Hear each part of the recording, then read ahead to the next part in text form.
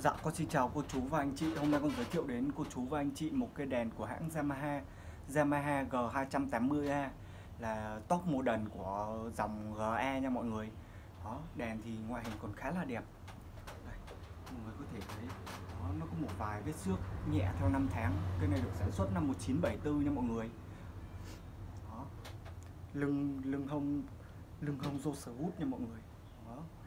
Lưng nó chảy nhẹ xíu chỗ này nha mọi người đó bị chảy nhẹ nha mọi người. Đó rất là đẹp luôn. Đó. Màu sơn rất là đẹp.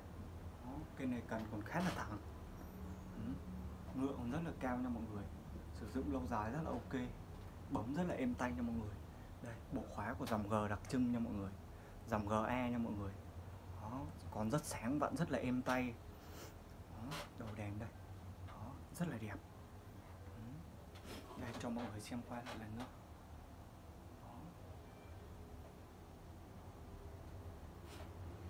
Cái này em à, bán giá 6 triệu 2 em tặng hộp nha mọi người. Đó. Em bảo hành 2 năm em giao hàng trên toàn quốc nha mọi người. Mời mọi người cùng lắng nghe âm thanh. Thank you.